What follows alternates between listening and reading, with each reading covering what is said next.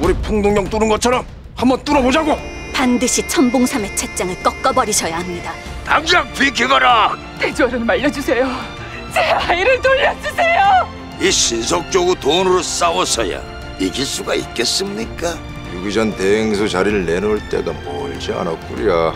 값싸움 아니겠소? 값이 얼마냐? 불의를 뽑으려 하십니까? 여기 숨어 있었구만. 내 채장을 뺏으려는 정확한 이유가 도대체 뭐요?